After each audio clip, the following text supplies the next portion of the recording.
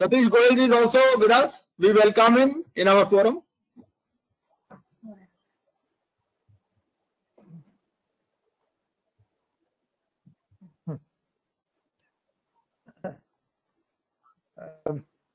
At the outset, uh, I convey my personal gratitude to the Trinagar Keshavpuram CP Study Circle of NIRC of the ICAI. I'm sorry, uh, it is written ICSI. I'm so sorry.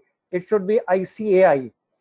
Uh, and more particularly, uh, CA RK Gupta ji, CARP Bharadwaj ji, CA Sunil Gupta ji, and uh, also my greetings to the uh, learned uh, professionals, more particularly learned chartered accountants and other professionals who have joined. Uh, I'll be concentrating uh, on the on the on the on the issue as to how as to how to draft reply to the show cause notice, especially the show cause notice which have been issued by intelligence um, uh, uh, by uh, by uh, by revenue intelligence. Uh, now, before that, I would like to submit before your good self the some of the fundamental principles uh, about issuance of show cause notice because if you know that these are the fundamentals of of the show cause notice then you can very well defend. One thing is that we have to remember two things. One the factual aspect. We'll have to remember two things. Hmm. One is the factual aspect and other the legal aspect. So many time on facts we are strong. Sometime on facts we are not strong so we'll have to attack on the legal side. So at the same time all professionals must have a good knowledge of both the the uh, how to defend factual aspect and how to defend uh, upon the legal aspect. Now there is a landmark judgment of the honorable supreme court in the case of gokak patel volkart limited cc this judgment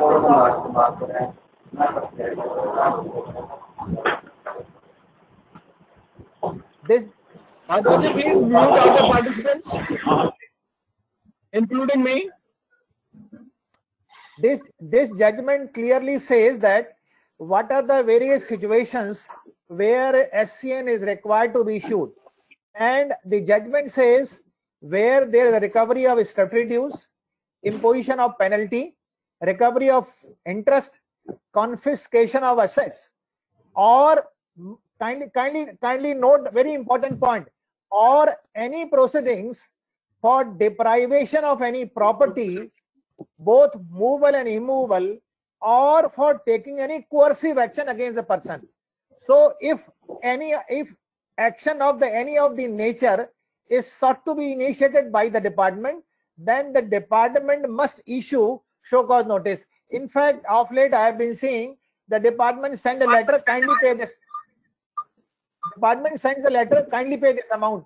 This is not a show cause notice and the department must say that this is the in our opinion this is the duty which you may like to pay as required under section 70 73.3 uh, i'm sorry uh, sorry 73.5 and 74.5 so department straight, straight away cannot tell the uh, assessee that you must pay this amount if it tells it it is it is it, it, mm-hmm. this this communication is a nullity in law right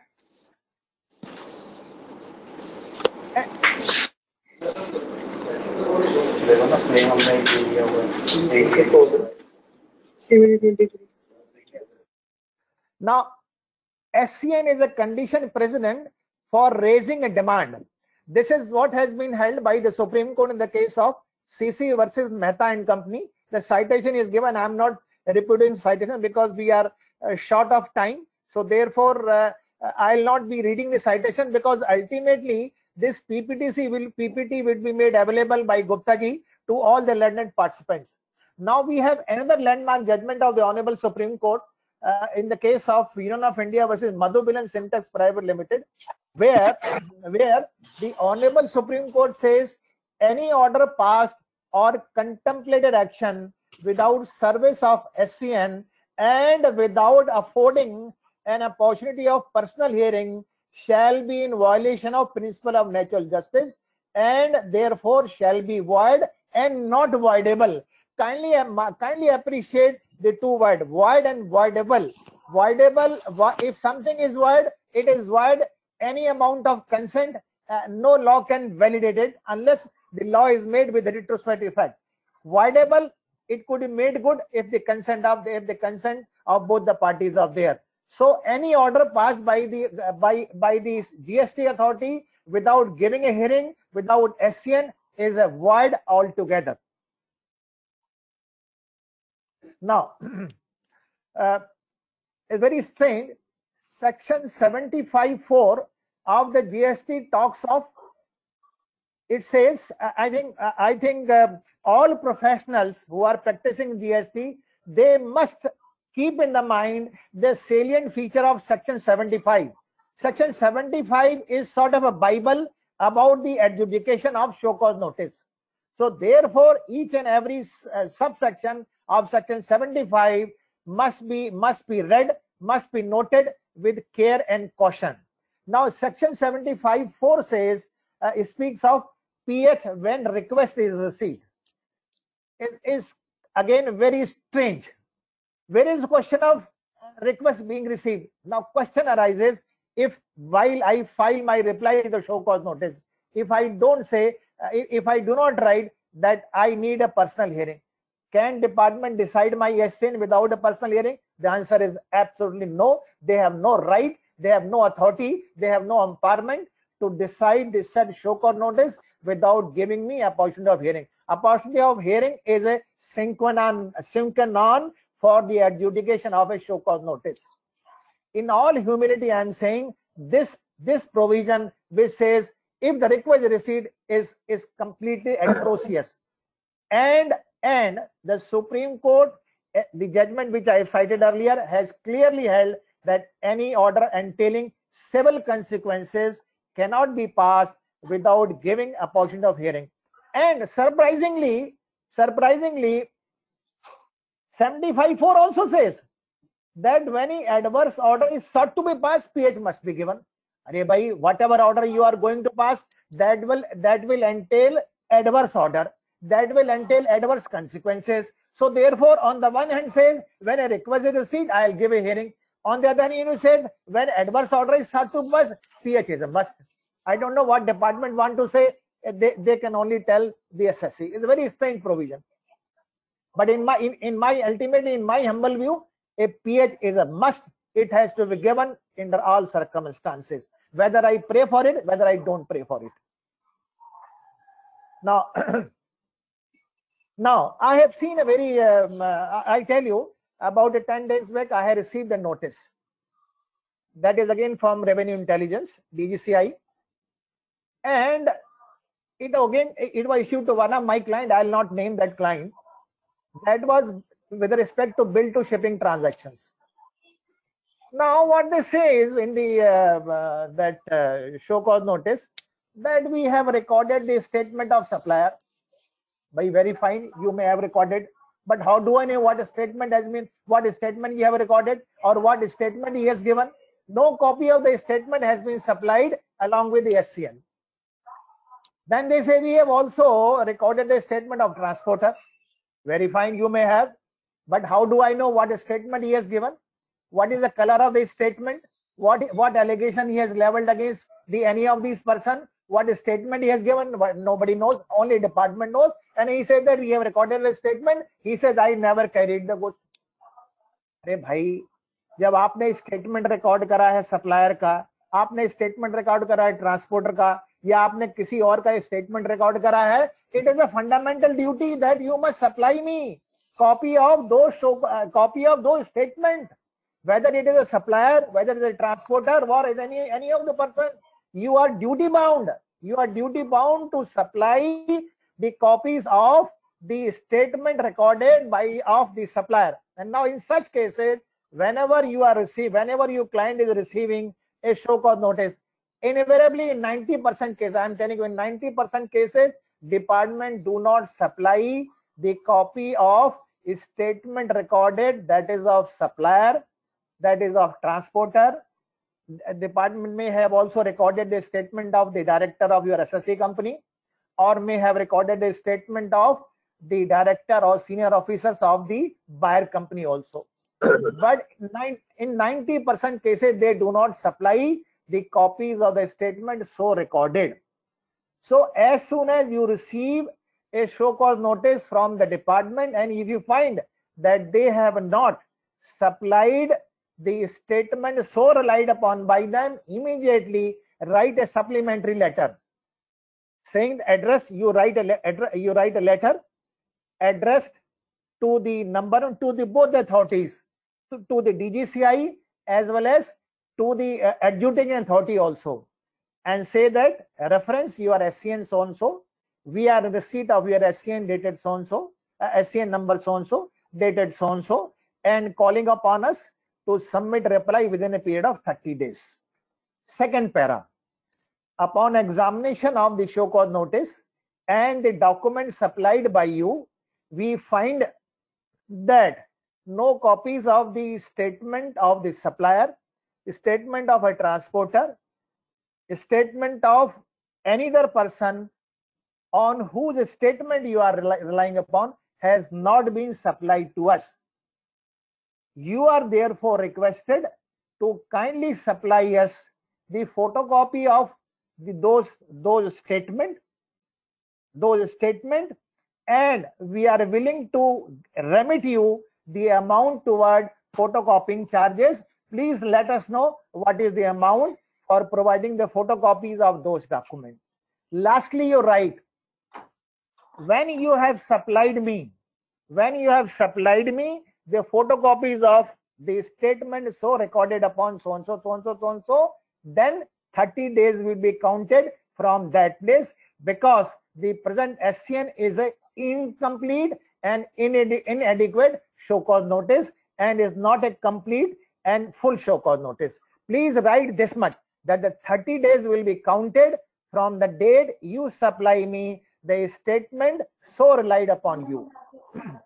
now the question arises, the question arises whether whether decision by the by the adjudicating authority is a uh, is a is a quasi quasi judicial function or administrative function. The Honorable Supreme Court in the case of Bina Pani Dei of uh, Uh, 1967 has clearly Hello. held that even the Supreme Court says the Supreme Court says the Supreme Court the Supreme Court says that Supreme Court says that even in respect of the administrative order being issued by the department, even then a opportunity of personal hearing, personal hearing has got to be granted to the assessee. Then we have uh, uh, another judgment that is of Canara Bank of uh, versus VK Awasthi. There, this is of latest judgment. There also, Supreme Court has once again reiterated that principle of natural justice has to be followed. When we talk of natural justice, what exactly it means? The natural justice means a a show cause notice accompanied by accompanied by the document which the department is relying upon that is statement of various person whom department is relying upon number one. Department may also be relying upon some expert report some engineers report some doctors report somebody else report. Those also must be supplied to me. If they in the show cause notice they say that so and so so and so so and so has given his report. Therefore, before you submit a reply to the show cause notice, Assessee has a full right to tell the department, please supply me the photocopy of the expert report or some other report on which you are relying upon. Because unless unless you supply me the copy of that report, I can't furnish my reply to the show cause notice. And the assessee is well within its legal right to tell the department that I have a legal right I have legal right to be supplied with all the statement, all the reports, all the documents, all the uh, uh, uh, the expert report, engineer report, or anybody report on which the department is relying upon uh, uh, in support of their case. I have a full and complete legal right to have a copies of those reports. And and the period of 30 days will be counted from the from the the documents have been supplied to me. And when you are writing, when you are submitting an interim reply, you must also write one sentence that which is very very important when you feel that along with the SCN, they have not supplied copies of this. और दे थोड़ा दे नहीं sir lockdown first week का है lockdown first week का है sir मैं कह रहा हूँ सर लॉक के फर्स्ट वीक का है बंद कर दिया बड़ा वो एसी चल रहा है Now, I was submitting in the last para. You must you must say very clearly. Hello नहीं जी म्यूट You कर must- लीजिए अपने का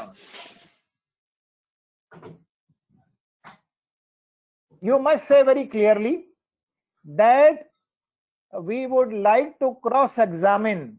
We would like to cross-examine the persons whose statement you are lying upon and therefore kindly make them available kindly make them available for the purpose of cross examination by the assessee or its assessee's professional and once a cross examination has taken place only thereafter only thereafter we would be submitting any additional reply any additional reply which we may like to submit.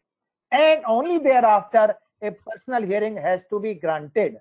Kindly write because the you have to tell very clearly because there are number of judgment of the honorable supreme court and the high courts and the tribunal where the high court have said that in case you want to cross examine any of these persons whose statement the department wish to rely upon you have to tell the department that i want to cross examine those persons so therefore, a request has got to be made very specifically in the first in the in the in the interim reply itself. The first letter which we are shooting out.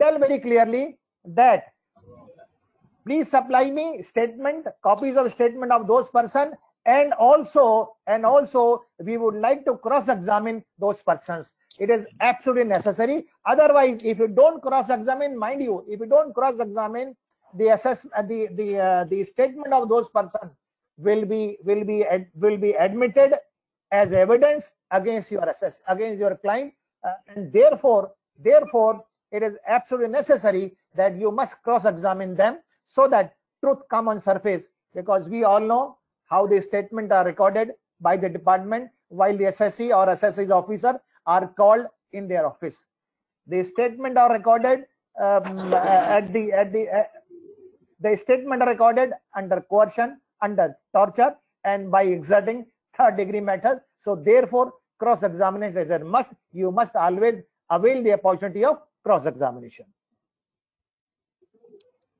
now, very important judgment. Many time department में से अरे साहब क्या है? आपने duty तो देनी थी। अगर आपको हमने हियरिंग नहीं दी तो क्या फ़र्क पड़ता है उससे? Supreme court what supreme court से kindly supreme court honourable supreme court से says in the case of S L Kapoor versus Jagmohan authority taking in action can not be heard to say that even if the principle of natural justice would have been followed it would not made any difference in the ultimate result. They have no right. The TH has got to be granted even if I have absolutely no case, I have absolutely hopeless case, I have absolutely dead case. Hearing has got to be granted.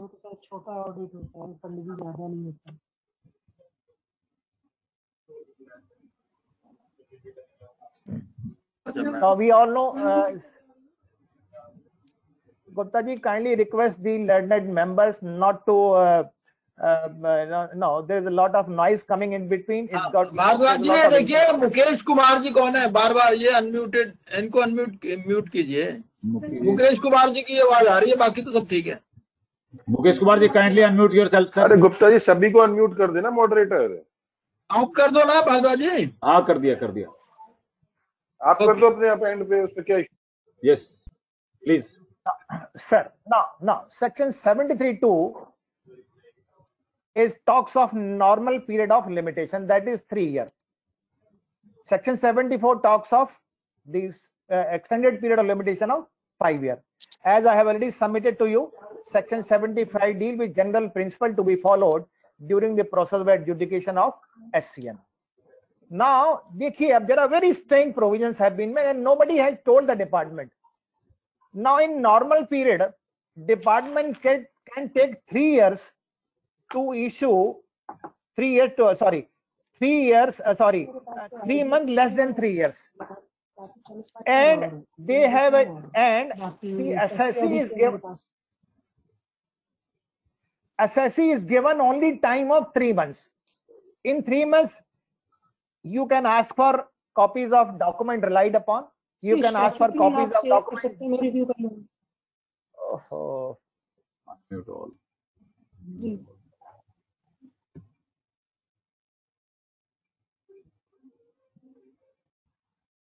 Yes, you please. can ask जी ये मुकेश कुमार जी का Sir, all all have been muted uh, except Pradeep ji.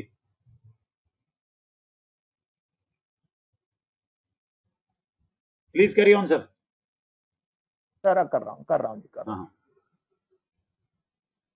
Now, so the time granted in the case of normal period is only three months. In case where the extended period is invoked, it is it is is six months. Now, very strangely, section 75.3 says that when a matter is remanded by the High Court or Supreme Court or by the appellate tribunal or by even the CIT appeal, before the adjudicating authority, he will have a time of three years to pass the order. What a strange provision it has been made and nobody has questioned the department. On remand, you can take two years. On remand, on remand, assessee can, uh, uh, adjudicating authority can take two years to pass the order. But when, but but when the when adjudication is taking place it is only three months and six months. Anyhow this is the law. Nobody has questioned it. Nobody has raised a point. Nothing could be done Uh, my only purpose purpose was to point out what a glaring uh, um, uh, um, disparity is there. Now sir many times you will see and rather i have seen i have received a show cause notice just about a month back. What they say is and this is for the pre gst period. What they say is that if foreign party like what what they say is foreign hmm. party they hmm. don't name. Foreign party remitted 15 lakhs and you were to pay the service tax of 5 lakh on reverse charge basis which you have not paid. Now surprisingly scn they do not say who is a reverse part who is a foreign hmm. party to whom i have paid to to, to whom to whom uh, the, which foreign party has paid to me they don't name. Where from this 15 lakhs they have derived they don't tell. The where from this figure of 15 lakhs has come. They say you must pay service tax on rcm basis. Now surprisingly when in, in the first round of litigation we filed a reply sir we have we have never received 15 lakhs. On the contrary we rendered services to the outside party based in outside india. We rather exported the service. So therefore it is export of service. When the order came ultimately he confirmed demand on both the counts now commissioner appeal remanded case back to the adjudicating authority. Please tell us who is the party? Who is a party who remitted 15 lakhs to the assessee who is based in india? They did not tell anything even when the remand remand order came to the department. Now the supreme court says in the case of cc's bangalore versus brindavan beverages of 2007 that Supreme Court upheld the order of tribunal in a case where tribunal has rejected a case of department only on the ground that that the SCN is is clearly vague, ambiguous, and presumptive. It does not clearly say what was the nature of transaction. Now the Supreme Court says SCN is a foundation on which department has to build its case. If the allegation in SCN are not specific, lacks details, and unintelligible, then what the Supreme Court says, then in that event, there is no manner that the assessee can submit a proper reply to the show cause notice and he has been prevented from defending his own case and thereby there is a violation of principle of natural justice. And therefore the supreme court has upheld the order of tribunal whereby the tribunal has rejected the case of the department only on the ground that the SCN is vague. SCN is ambiguous. Then we have one more judgment, Koran Singh. This is again our Supreme Court, which also says that SCN must communicate very specific allegation, oblique charge. Number two, basis of demand of tax.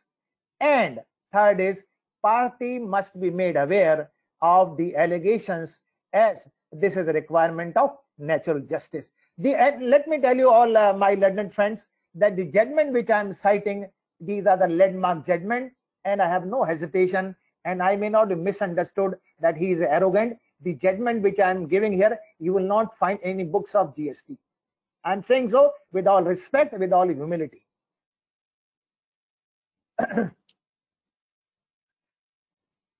what the Delhi High Court says in a case where the SCN is is is a vague, is a perverse, is a frivolous, then the Honorable Delhi High Court in the case of Lord Chloro Alkalies versus Enforcement Director, this is the case of FERA and FEMA uh, of 2017, where the Honorable uh, Delhi Division Bench of Honorable Delhi High Court says it is a well settled principle of law that the burden is upon whom? Who affirms and not the person who denies it meaning thereby whatever allegation department is alleging prima facie prima facie department has to build a a, a foundation stone or a, they have to build a prima facie case against the assessee and only thereafter the assessee can be called upon to to to say what the case he has. And it is not just that department do not make out any case against assessee and entire onus is never shifted upon the assessee then then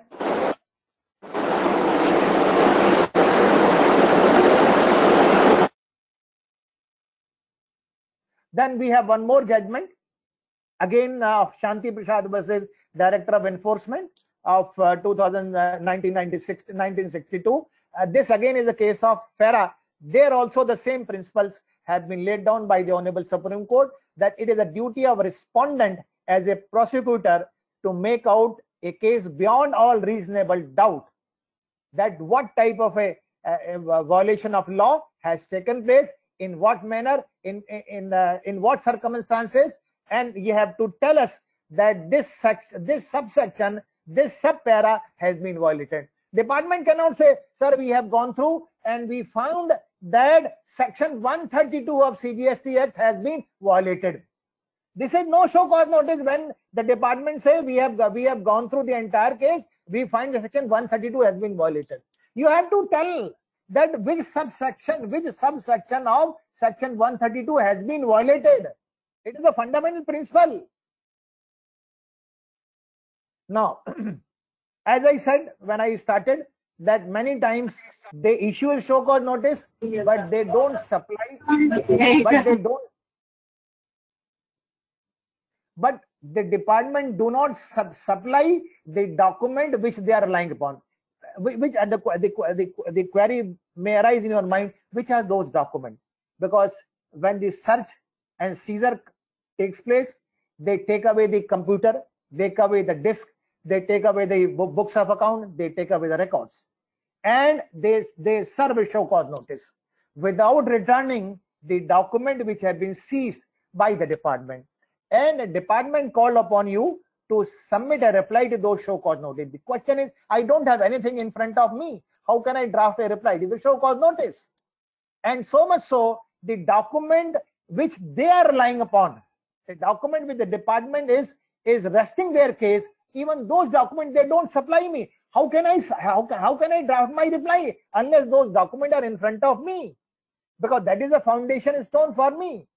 So what the uh, Allahabad High Court says in the case of Novavax,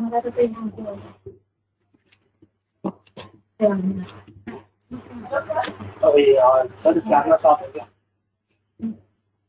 चल बंद करो sir अरे यार इतना क्या हो रहा है कुछ नहीं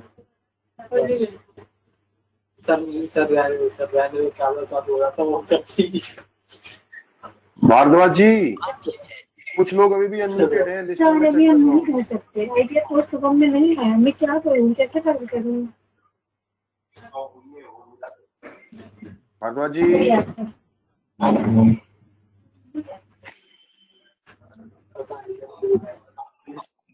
देखो दिया था कल आ गए आ गए ओम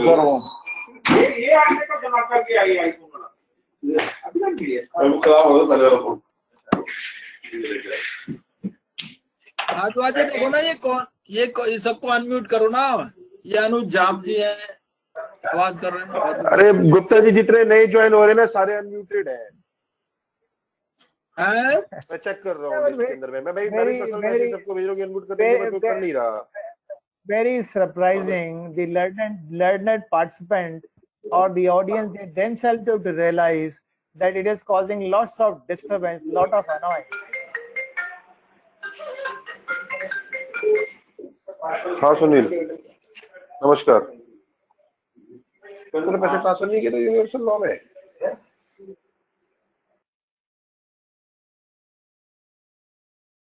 Now, the Honorable Allahabad High Court in the case of Navamed, they relied upon a circular issued by the department. And the circular says the seized goods and document which are not relied upon by the department in the show cause notice, those must be returned, meaning thereby the documents and the seized goods must be returned within a period of six months from the date of seizure. This is in relation to the goods and the document which have not been relied upon in the show cause notice. Now the judgment, the judgment further says, after SCN has been issued to a party, the document or records not relied upon should be returned under proper receipt. The department has no business, no right to retain the document, the records, goods which have been seized at the time of inspection, at the time of visit to the assessee's office, to the assessee's premises. Then we have one more judgment of Delhi High Court on this count. I'm not repeating because time uh, the, time is running running out. Then there is one more judgment of Hindustan Dying of the Honorable Tri- There are two judgment of the Honorable Tribunal where the Honorable Tribunal also says document not relied upon must be returned to the assessee. Now, very now the most important thing which comes to your mind, which which, which is rather the the uh, the the crux of the whole uh, uh, show cause notice. As I submitting that show cause notice come from DGGI. They say we have recorded the statement of supplier, we have recorded the statement of the transporter. They also many times they also record your statement. They they record the statement of buyers also, and then one situation they do not supply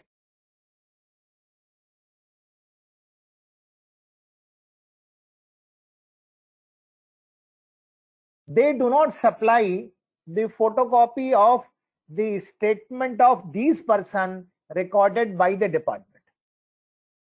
Now somebody has made a statement before the excise officer kindly appreciate the earlier in the pre-GST regime, these statements were recorded under section 14 of Central Excise Act. Now, under the GST law, we have section 70 of CGST Act. Both are pari materia.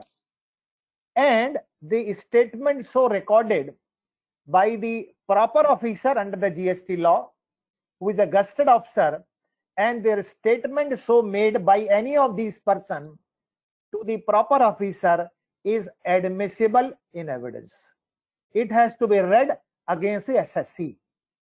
Unless, unless the statement is either retracted or there is a cross examination of those persons and in cross examination those person makes a statement something contrary to his earlier statement so therefore so therefore it is absolutely necessary that the cross examination of the person that is supplier who who who who, who whom department say he never supplied the goods transporter department he never supplied the uh, he never transported the goods or the officers of the assessee or many times when it is a circular trading even the buyers also.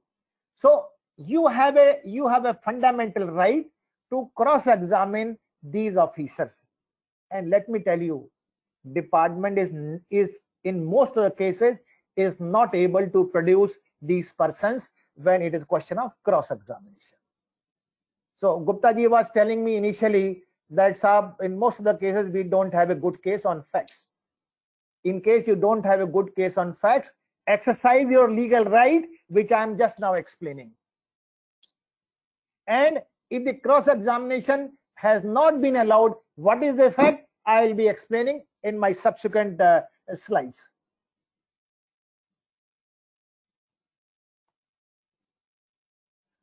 Now, uh, subsequent slide. Now, question arises whether the provisions of Indian Evidence Act, whether the provisions of CRPC, are they applicable to the proceedings which are taking place before the GST authorities or in the pre-GST regime before the excise authority or custom authority or service tax authority. We have a landmark judgment of the Honorable Tribunal of 1988 where the tribunal has laid down certain fundamental principles which are those fundamental principles? Number one provisions of crpc and indian evidence act are not applicable to the adjudication proceeding mind you not applicable to the adjudication proceedings. It is but but it is a settled law that fundamental principles of criminal jurisprudence are applicable to the adjudication proceedings. Proceedings are quasi-criminal, quasi-judicial, and quasi-criminal proceedings. The adjudication proceeding which is taking place before the proper officer, they are in the nature of quasi-judicial and quasi-criminal. What the tribunal further goes on to say, whenever a request for cross-examination of any of the witness is required or ask for the ask for uh, what the uh, tribunal says the statement earlier recorded of the witness is treated as a examination in chief and the witness has to be cross examined i think uh, we all of us has the occasion to visit district court and to watch the proceedings जैसे हम हिंदी अंग्रेज़ी वो उर्दू में बोलते हैं गवाही जब गवाही चल रही होती है तो आपने देखा होगा विटनेस आता है पहले अगर फॉर एग्जांपल पिटिशनर साइड से विटनेस आया है तो जो पटेशनर अपने विटनेस की गवाही लिखवाता है। जब अपने विटनेस की गवाही लिखवाता है, फिर वो अपोजिट काउंसिल को बोलते हैं, सर, आप इसका क्रॉस एग्जामिनेशन करिए। तो ट्रिब्यूनल ने क्या बोला है?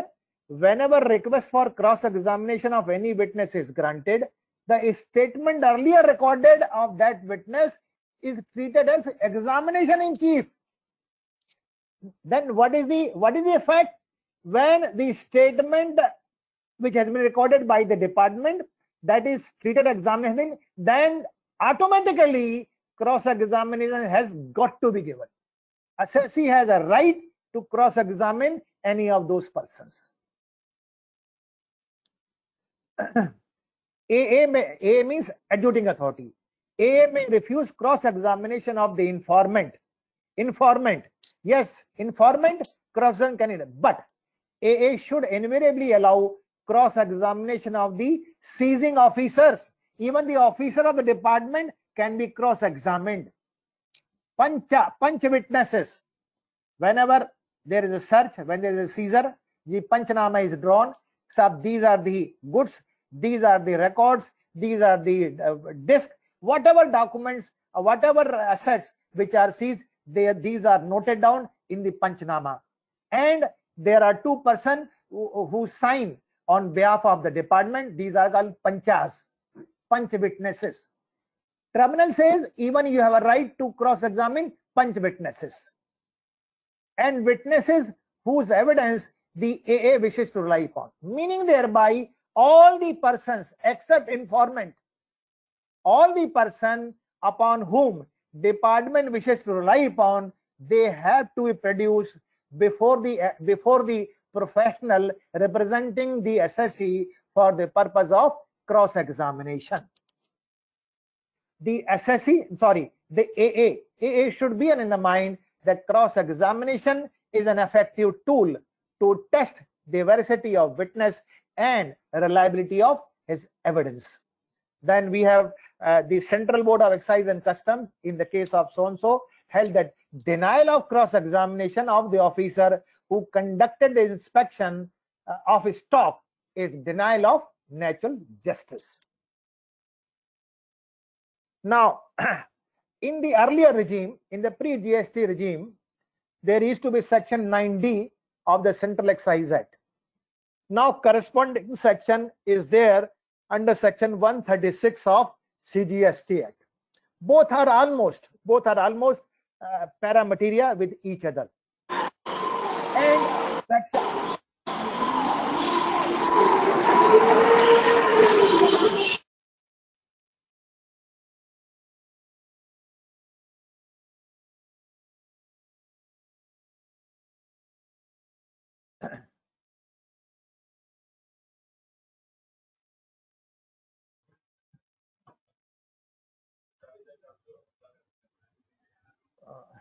Yes, sir. Please carry on. Uh, you, you are able to hear me? na? Yes, yes. You are able hear. to hear me? Yes, sir. Yes. Sir. Okay. Uh, now, now, section 136 talks of, in an indirect manner, the right and entitlement of the assessee to cross-examine all these persons, that is supplier, that is transporter, that is your own of. You can even cross-examine your own officers also. You can cross-examine even the buyers also. And as I have said at the beginning, in 90% cases, department is not able to produce these persons for the purpose of cross-examination. And I have seen the orders where the adjudicating authority has written these persons could not be made available for the purpose of cross-examination. The courts have taken a view that if you are unable to produce this person for the purpose of cross-examination, then department cannot rely upon the statement of these persons whose statement they are relying upon in the show cause notice in support of their case. A very interesting point. Many times when the summons come that you are Mr. So-and-so, kindly come to our office for the purpose of recording a statement. The client is very jittery. The client is very apprehensive. The question is, can advocate or professional can accompany that person or not? There is a one judgment of the Honorable Supreme Court in the case of M.K. Kundia versus Union of India 2015 319 ELT, where the Honorable uh, Supreme Court says the the presence of the counsel or the authorized representative cannot be insisted upon while recording a statement. But but some protection is granted to the assessee in the sense that the uh, the counsel the counsel or authorized representative of the assessee could sit could sit beyond a hearing distance मतलब जहाँ से वो क्या सवाल हो रहे हैं क्या आंसर दिए जा रहे हैं वो सुना ना जा सके इतने डिस्टेंस पे एडवोकेट और A R authorise can sit. He can accompany and can sit and can sit. That is all about. But advocate or ar cannot cannot interrogate either the assessee or the officer of the department. The the advantage is if if the advocate is there or a authorized representative is there then the officer of the department they cannot apply third degree they cannot apply beating. They cannot apply mental torture. So this is the biggest advantage. If the court allows allow the company of either advocate or a authorized representative who could be a learned chartered accountant who could be learned uh, um, engineer or uh, any other professional. Then we have again a landmark judgment of the honorable Allahabad High Court in the case of uh, CC Meerut versus Parmarth Iron Private Limited, where the Honorable Allahabad High Court says if revenue chooses not to examine any witness in adjudication, meaning thereby is simply uh, what the High Court says to the department, look, gentlemen, simply you can't record a statement and can rely upon. No, when a when before the adjudicating officer these witness had to be brought in oath have to be given they have to reiterate what they have said earlier. And immediately thereafter those persons whose statement has been recorded by the department the assessee has a right to cross examine those persons. And a cross examination for the purpose of bringing the truth on record. Because why because when the various person they are brought in the office what what is being done is the superintendent keeps on dictating the person keeps on writing and ultimately person signs yes i have voluntarily given the statement and this is made out of my free will and volition as simply signs it. The fact is not a single word is voluntary. Everything is under torture. Everything is under compulsion. So you as a authorized entity you can ask the questions and ask the question in relation to the point which are against you.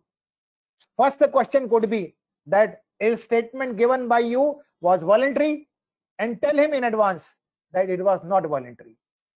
Because if if the witness is your own witness you can tell in advance that these are the questions which i am going to ask you. These are the answer which you have to tell in front of the adjudicating authority. And let him say yes the, the the statement which was recorded earlier this was not voluntary statement. This was recorded under compulsion.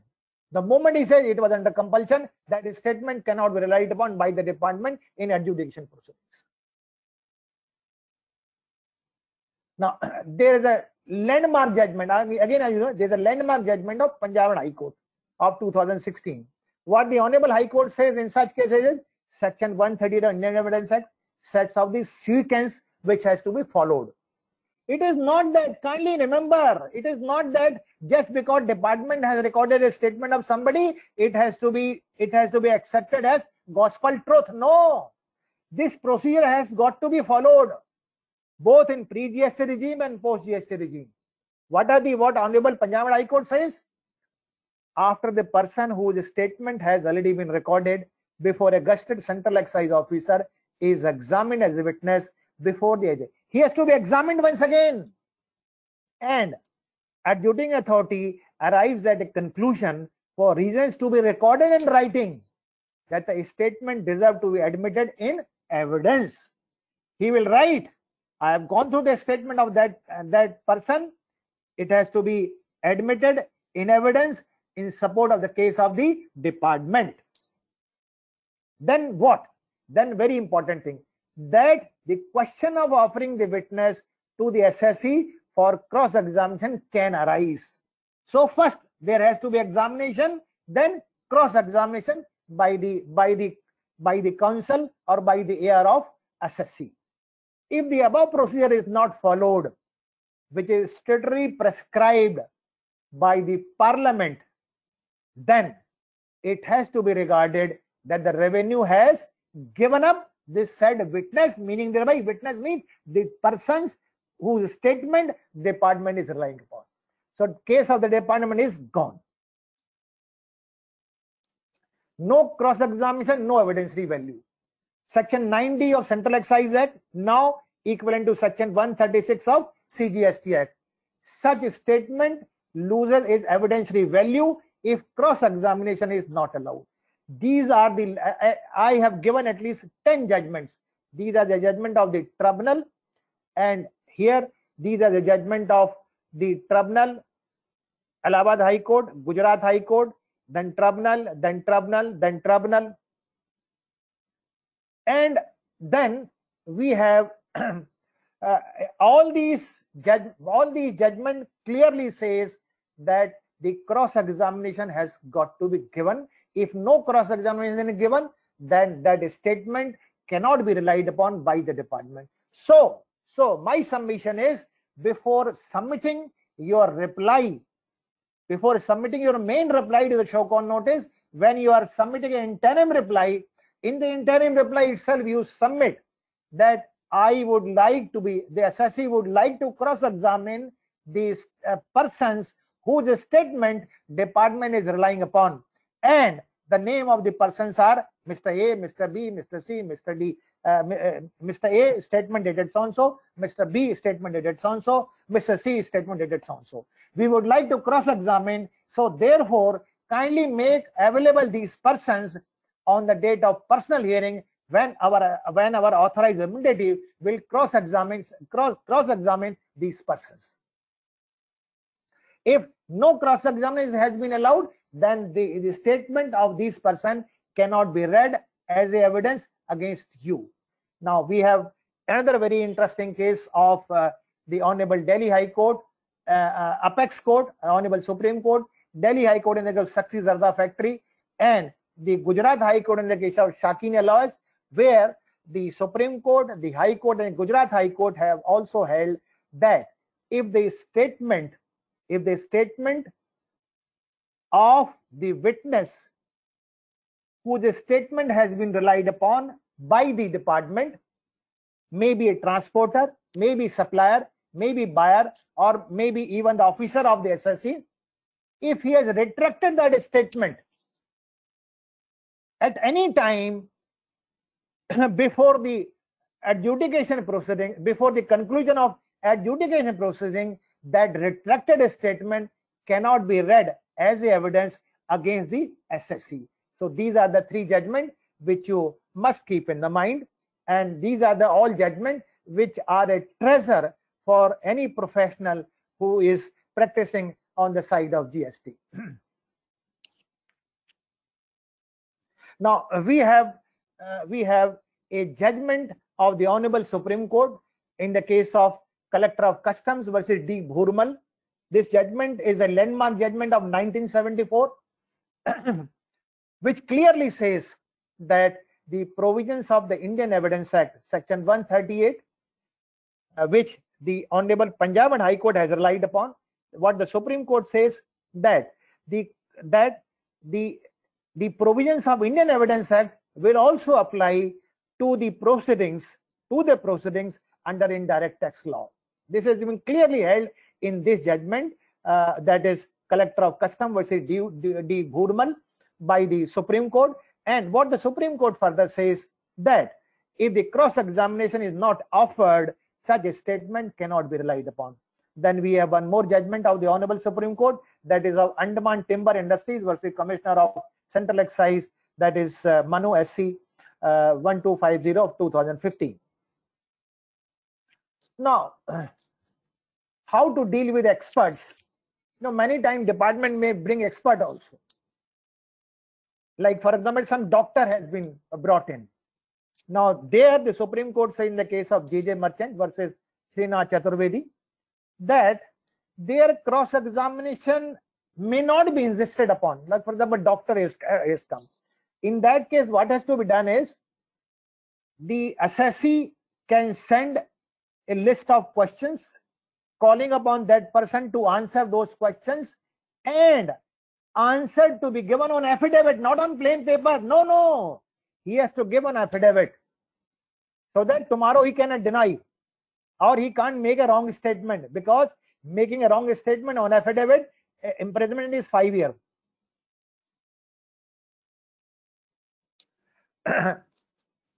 I have already said that the timeline prescribed, the timeline prescribed under section 74 are impossibility. Why these are impossibility?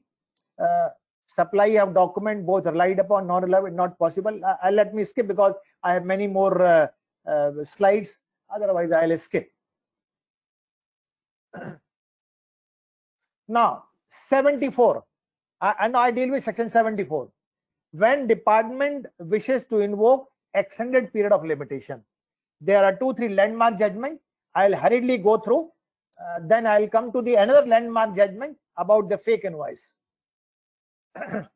the uh, the honorable supreme court the case of collector versus Chemphar Drugs what the supreme court says about invocation of extended period that is section 74 period of 5 years mere inaction or failure on the part of manufacturer will not amount to suppression of fact what is required is conscious or deliberate withholding of information for settling the assessee with the liability of tax for extended period of five years.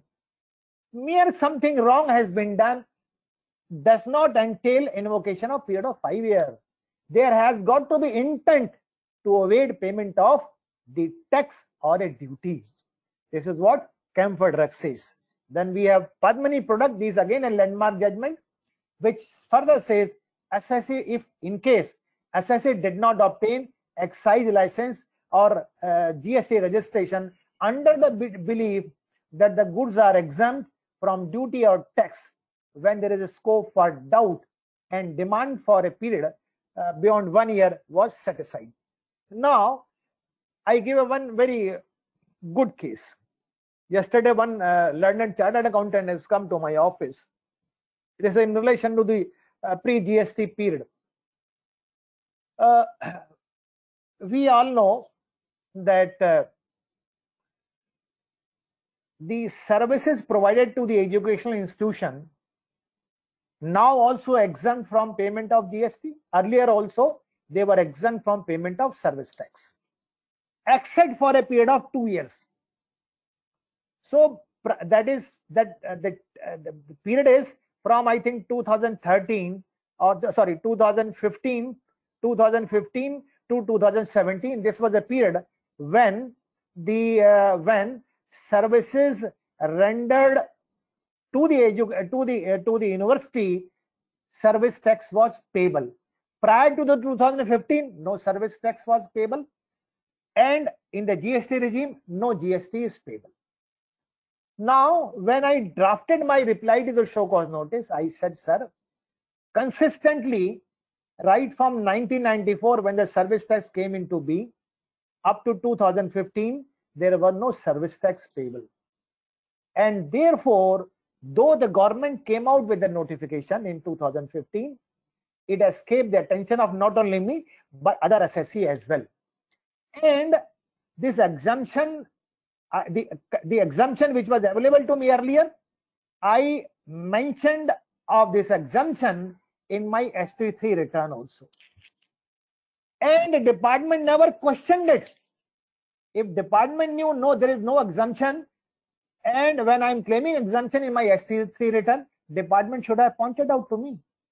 Department also did not point out. So assessee was also aware that exemption is there. Department also was under the belief exemption continued. So both were in the belief that there is exemption. So in a case like this no extended period can be uh, extended period of five year can be invoked. Now, then these are the uh, two landmark judgment of the Honorable Supreme Court, Continental Foundation uh, versus CC, Anand Nishikawa Company Limited, where the Honorable Supreme Court says mere failure to disclose full and true information with the intent to evade payment of duty what is required is there has to be intent to evade payment of duty. If there's a bona fide error on the part of the assessee, not to take registration or not to file return or not to uh, do a, something required under the law, five year cannot be invoked. Now, if the party bona fide believes that no tax oblique duty is payable or no license oblique approval is required in his case, and if there is a scope for such belief and doubt, penal provision of section 11a of the Central Excise Act, now section 74 will not apply at all. There is a one more landmark. Again, I'm using a landmark judgment of uh, the Honorable Supreme Court, Union of India, where Rajasthan is spinning and weaving mills of 2009. And the Supreme Court says false statement, there has got to be false statement become willful if it is deliberate or intentional. It has got to be deliberate. If it is not willful, or if the statement is accidental or inadvertent, then the extended period of five year cannot be invoked. Now, many times it is seen that the, there is a there is a visit, there is a search, there is an inspection at the at the factory, at the at the office premises, at the residence of the assessee, and the assessee is called upon under the uh, under the uh, what you call mental agony, under the torture, under the threat of arrest to make payment on some ad hoc basis. The question is, if such payment is made on ad hoc basis, the department always say this is a tax or this is a duty. And let me submit, this is neither a tax nor a duty. And therefore, therefore, if you see section 54 of the CGST Act, in section 54, subsection 1, the, the, the two words are used, tax or any other amount. Department knew themselves that the amount paid during investigation is not a duty, not a tax.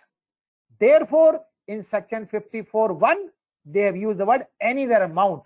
So kindly bear in the mind the amount which you are, which you are assessing is depositing at the time of investigation or search or summons or when the investigation is going on that doesn't take the color of tax that doesn't take the color of duty. It is merely a amount or it is merely called a deposit.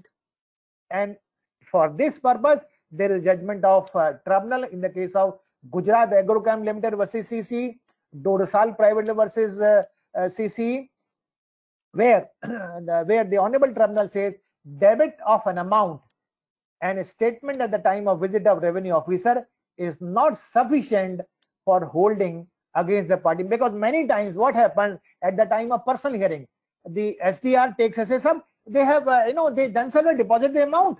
They accepted it. The law is very clear. If I deposit any amount during investigation it doesn't amount to admission of the guilt. Certainly not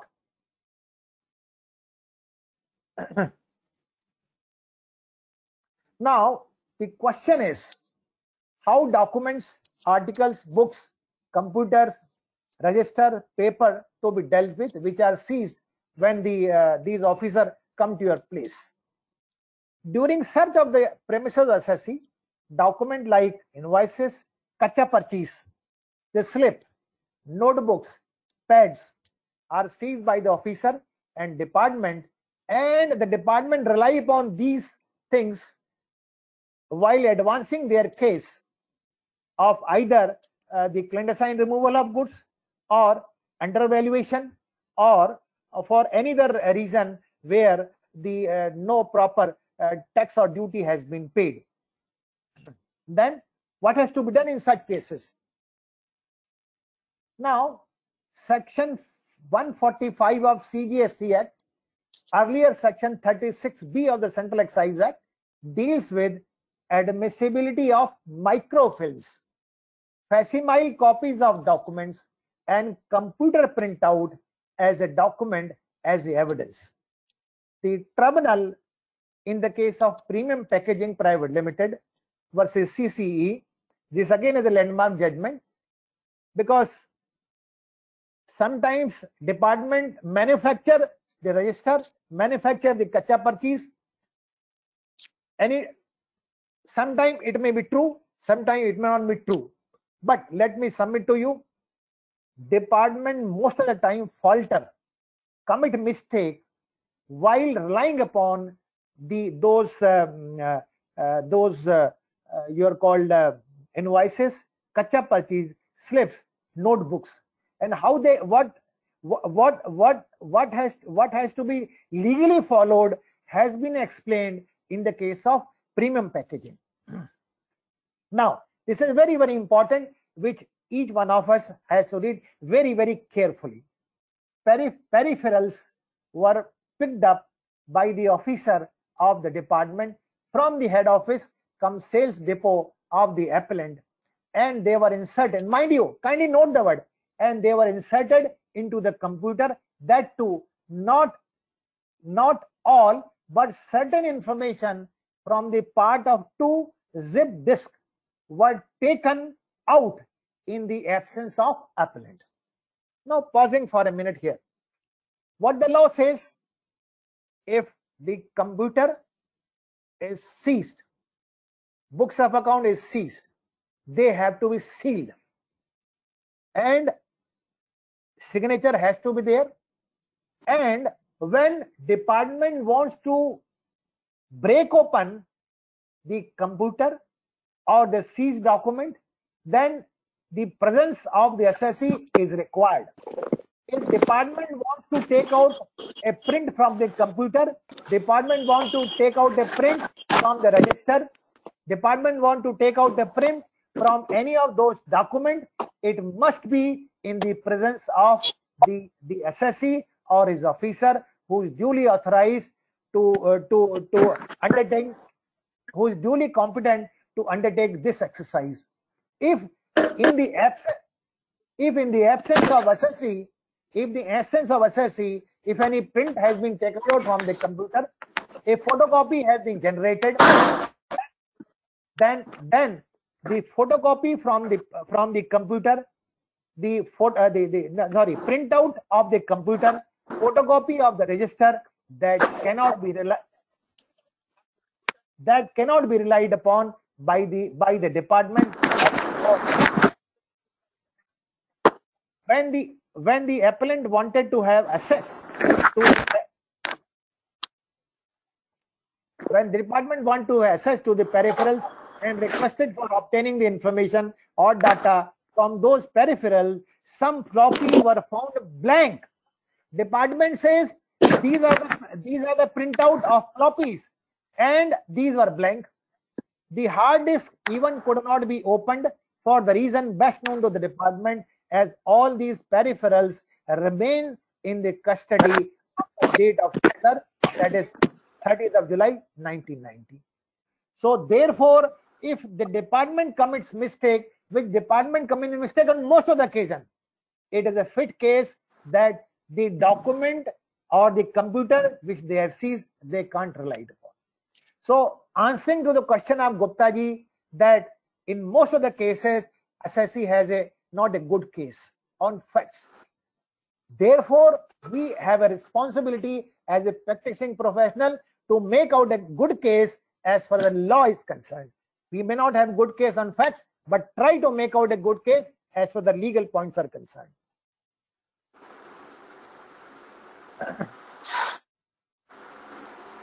now, evidentiary value of document produced.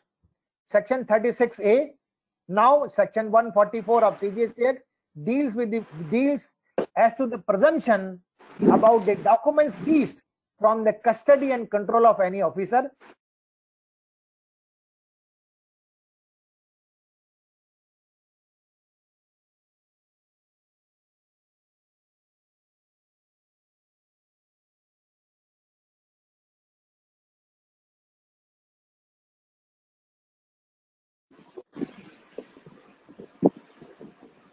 Uh, Just a minute. Give me one minute only, sir.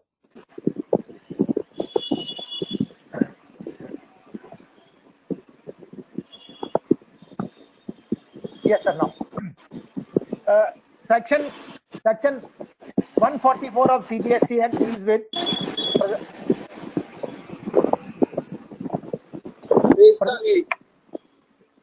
present presumption as to certain documents seized from the custody and control of any person. What the Supreme Court says is very interesting to make a note of it. When a document is produced in a court or tribunal, mere production of document that does ये इसको क्या आप बता रही है तुम्हें यही लगाने की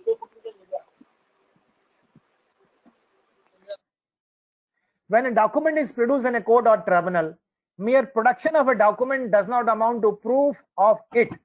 Simply the document has been produced or annexed along with the along with the show cause notice. That is not enough. What is required to be done is here the writer. For example, it is a notebook.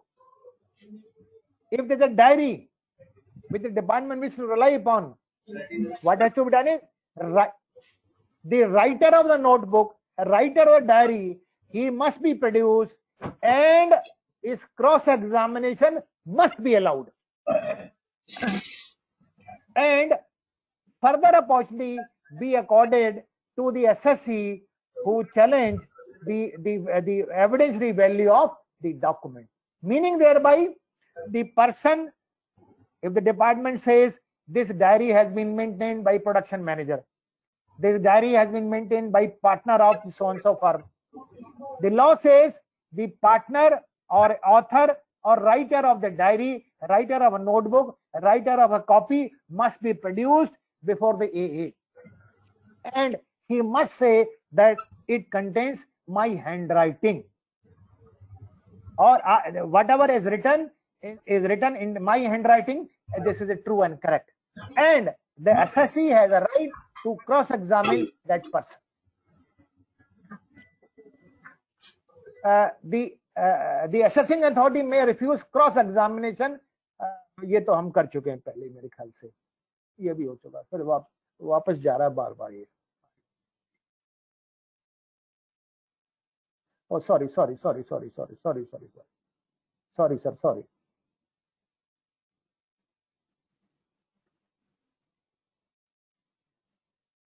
yes sir the uh, again um, the law i have uh, this i have already uh, dealt with in my previous slide except for informant. The statement of any person whose statement has been relied upon by the department he should have made available.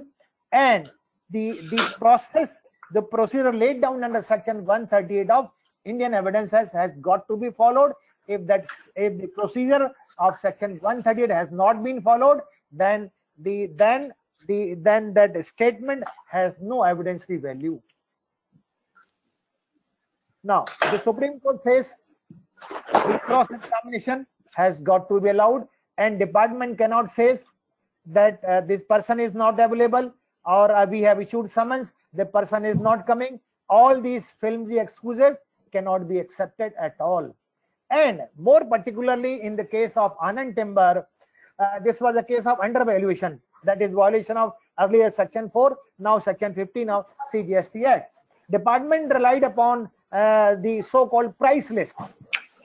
The question has arisen whether the goods were sold whether the goods were sold to the dealer oblique witness at the price which is mentioned in the price list itself could be subject matter of cross examination how it could be cross examination you can you can you can put your own witness your sales officer sales manager. He can always say sir these are not now not our price list.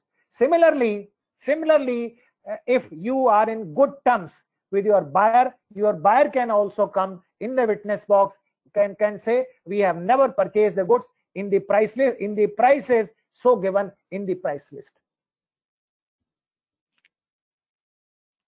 now i'll take you straight away to the landmark judgment.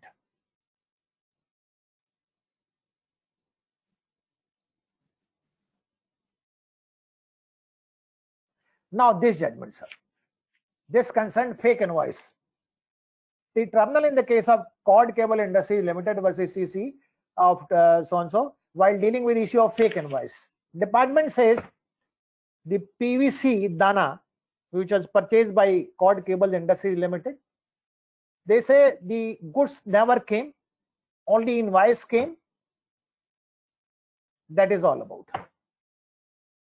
The assessee of the, the case of the assessee was that the goods left from Delhi and went to Bhiwadi, Rajasthan. There was endorsement of the check post. This, this case is of pre-GST regime. There is endorsement at the check post behind the invoice, behind the GR. Proof of sell tax payment. Payment made to supplier through check. Mind you, through check. At the time of visit to the factory, nothing incriminating was found. They, the department officer visited the factory also. In fact, in fact, I was the one who argued the matter before tribunal. We took a plea, sir, in case we have not received the raw material. The question is, I'm a manufacturer of power cable. If I have not received the raw material, how come the finished goods were manufactured? If I am not, the department says I have not received the goods. See, if I have not received the goods, how could I manufacture the power cable? And definitely, when I when I cleared the power cable, I paid the excise duty. Then department must must refund that excise duty which I have paid on my finished goods because it is a case of department that I have not received input. The tribunal says very well. Then then they tell the SDR. Then would you like to refund the excise duty which you have received from the assessee? They say no no we will not. So on the one hand you say raw material has not come on the other hand, you say you the assessee has, has manufactured the goods out of the very same raw material and you are accepting the duty also. In case appellant did not receive the input for manufacturing the finished good, revenue is duty bound to establish where from the appellant bought alternative input. Number one, no cross examination of supplier was allowed. Very important thing and generally in 90% cases department is always shy of department is very jittery of allowing cross examination of the supplier now further tribunal in the case of so and so so and so held that payment toward raw material through check oblique dd establishes the appellant case as regard receipt of input in the absence of any alternative source of procurement of raw material. Then then two three very landmark judgment very very important and landmark judgment on this fake invoice. Sham forging if a dealer from whom input were purchased had been found as not having any godown not having any godown the credit taken on the input cannot be denied merely on this ground. Karnataka high court says in the case of bhuvalka alloys private limited is a judgment of 2011 what the honorable high court says where a dealer was not found on the address mentioned in the invoices and no business activity was found therein. The Cenvat credit cannot be denied which is stand availed on the basis of the genuine invoices issued by the dealer. Genuine you always say that these are the genuine invoices. I have received invoices. The supplier has paid tax to the government. And when when and when i fin uh, when i'm manufacturing the finished good i'm also paying tax to the government or if there is a um, um, uh, bill to ship transaction when i'm supplying uh, the goods as it is there also i'm paying tax to the government. What benefit i'm deriving out of it? Supplier is paying tax i'm also paying. So what is wrong in it?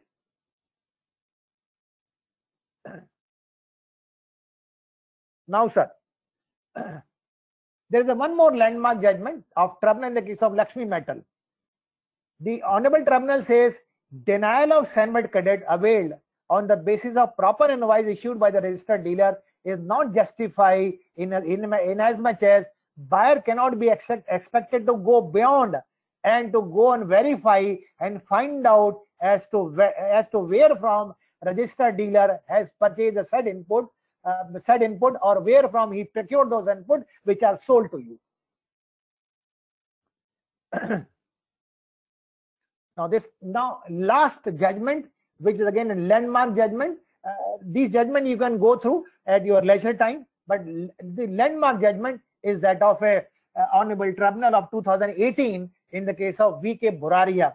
I like to read because it's a it's an excellent judgment in the case of fake invoice. And I can say this was a case of fake invoice only. But how the case, let me submit the facts and the ratio laid down by the Honorable Tribunal. It is a case of department during period so-and-so to so-and-so. Appellant procured only invoices without receiving goods. Appellant made payment through banking channel, but the same were received back in cash. This is the charge leveled by the department and did not account for the same in their books of account. The cash which was returned by the supplier did not account for by the by the assessee in his books of account. Appellant had purchased the appellant, uh, appellant has purchased cheap raw material. What the allegation is for manufacture of the finished good by the assessee, what the charges department is leveling, that assessee purchased cheap material from outside. The appellant has purchased cheap material from open market for manufacture of finished goods to cover up unaccounted purchases and to avail the Cenvat credit. Appellant used to procure Cenvatable invoices, only Cenvatable invoices of prime quality from the dealer companies operated by Amit Gupta. Amit Gupta is a is a mastermind is a mastermind uh, of all these transactions. It is also the case of department that fictitious transportation charges have been shown for transportation of the goods. The LR were in the name of uh, LR were in, in on the letterhead of defunct transporters, namely Leo Trans and Logistic, Sheetal Logistic, showing vehicle number of LPG tanker, LCV machine, auto rickshaw.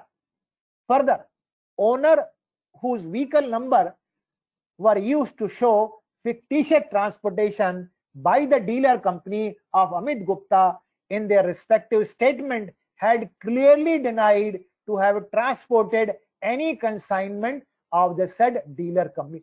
Transporter also denied. Supplier also denied. It is further alleged that Amit Gupta used to procure unaccounted non-duty paid zinc and copper scrap from the market and supply the same without bills to numerous manufacturers to whom he had provided bills of duty paid zinc scrap, copper rod, copper scrap. By adopting the aforesaid modus operandi, Amit Gupta had facilitated the issue of Cenvatable invoices to numerous manufacturers, oblique dealers without accompanying goods and passed on the Cenvat credit of the duty. Findings. Now, what are the findings? The tribunal has allowed the case of assessee. And what are the grounds? It's very, very interesting, very, very important to make a note of it. The demand of duty is not sustainable merely on the basis of submission made by the transporter of the goods as per ratio laid down by Arya Fibers so and so. Argument of the London Council is that in the present case, there is no evidence of the allegation that the huge quantity of material covered by 36 consignment were sold in the open market with flow. Now, in case, in case I have not procured, I have not procured where from I could manufacture the goods. The case of the department is solely based on the statement of Amit Gupta, another transporter, for which no cross-examination was provided. This is the biggest flaw in this case.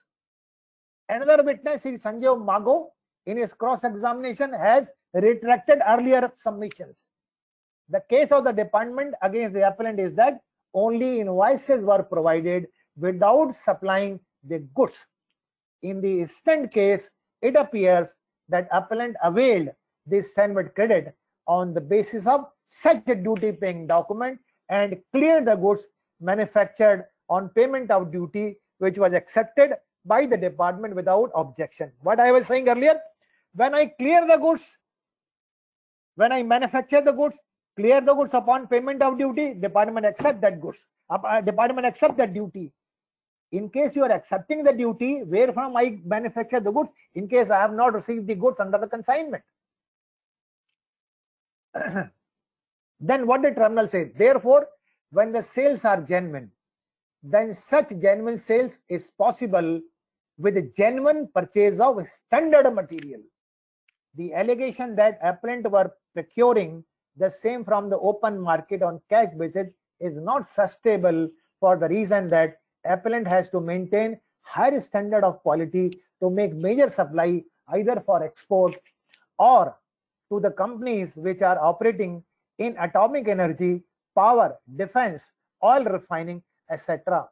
In the instant case, no physical verification of stock was done, no shortage of physical uh, stock was in, uh, are identified. Now, I'll and now I'll in two minutes I'll deal with the case of circular trading also. Now, I write that I received the goods. And in that case, I'll not name the name of assessee. I have shown the entry in my gate register. I have shown the entry in, in my stock register because for availing the uh, credit or ITC under section 16, the goods must receive. So I made an entry in my gate register. I made an entry in my stock register. Then I issued invoice in the name of my, my buyer. And I have paid GST. The goods were delivered to him. So what the benefit I derived? My supplier paid GST. I also paid GST to supply which I affected. So what I have gained? In case my supplier has paid a GST of 100, I paid a GST of 105. So department is stand to gain by 5, 5 rupees additional. So how can you say there's circular trading? So friends, uh, time is running out. Otherwise, I could have given much more uh, examples, much more cases uh, in support of the case or in support of the technical flaw which you can avail uh, to demolish the case of department. But due to paucity of time, I'm not able to explain to your uh, all learned members. Uh, at any time in future, if any opportunity is given to me, I'll I'll be present before you. I'll make those submission. With this, I conclude my presentation and thank you so much uh, to the uh, this um, Tri Nagar Keshav Puram CA study circle and also once again I convey my sincere thanks and regard to CA RK Gupta ji, CRP Bharadwaj ji, CRK Sunil Gupta ji and with this thank you so much to all my learned thank you so much once again. Ji Hello? Mittal Saab. Yeah, yes sir. Thank you. Thank you very much. I request the members if you have any questions, so you we can take in the chat box, please. If anybody has any questions, you can write your questions in the chat box. I request Mittal Saab to stay for some time. No, no, sir, I'm here. the Questions, please. I'm here sir. I'm here.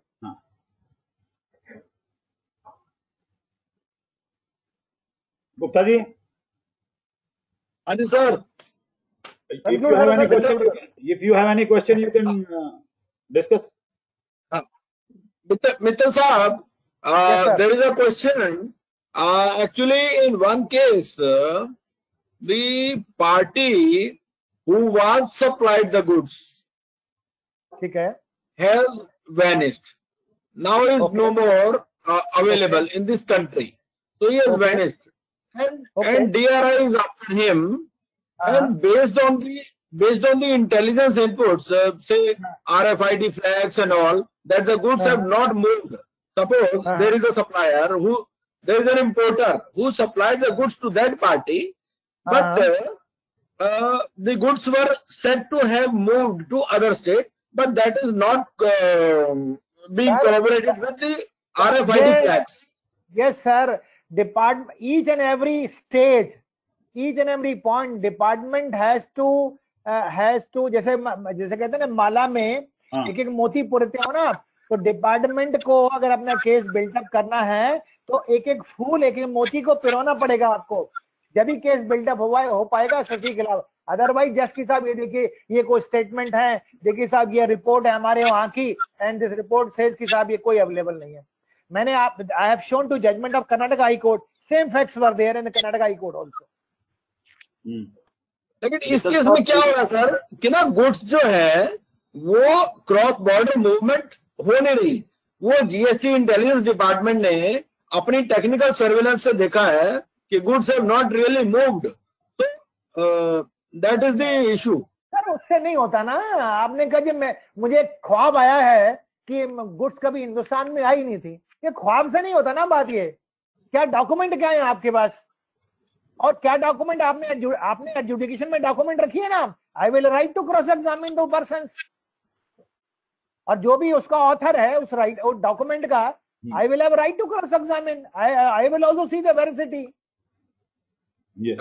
तो sir I take an appointment from you and discuss you in person okay sir okay okay हाँ my एक question है regarding fake invoices cases जो recently बड़े built up होके आ रहे हैं जिसमें जो फ़र्स्ट स्टेज डीलर है उसके पास शो कॉज के नोटिस आ रहे हैं हाँ कि आप आइए और इस टैक्स को एडमिट कीजिए या वट एवर सो है इन केसेस के अंदर क्या समन्स के केसेस के अंदर भी हम सिमिलर स्टैंड ले सकते हैं जो आपने इसमें प्रिडिक्ट किए बिल्कुल बिल्कुल लीजिए साहब देखिए मेरे पास मेरे पास मैन्युफैक्चरर से माल आया।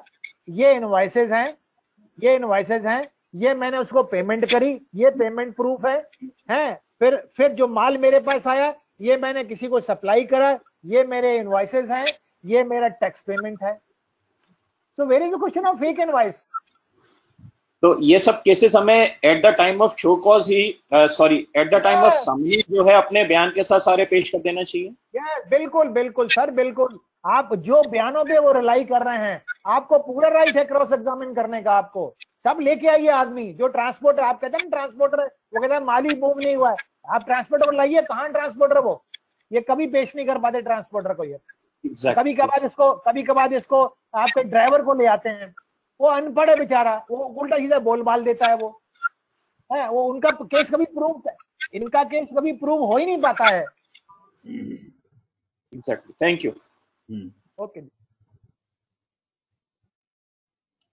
Yes, sir. Will you please now? Any, Can I move? question, sir?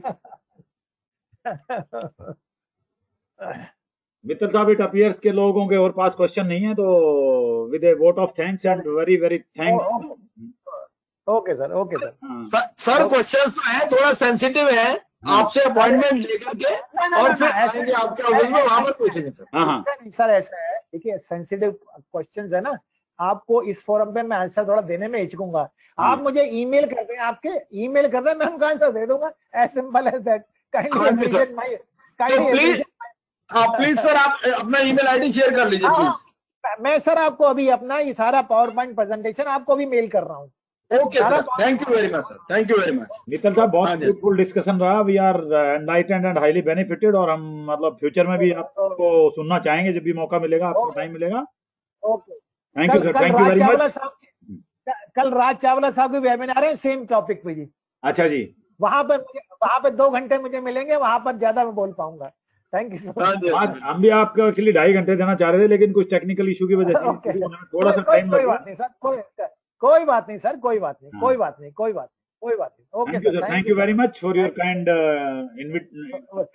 invitation such a wonderful lecture okay sir okay okay sir okay we are also thank all the participants Gupta ji हाँ जी sir we are also thankful to all all participants for making this event event very successful event and Please accept our apology for uh, wasting the initial 30-45 minutes due to some technical reason. We shall try to ensure that such event will not occur in future. Okay, okay, sir. Thanks, thanks a lot, and thank you all of you. Uh, now we are formally ending the meeting. Okay, okay. Thank you, sir. Thank you very much.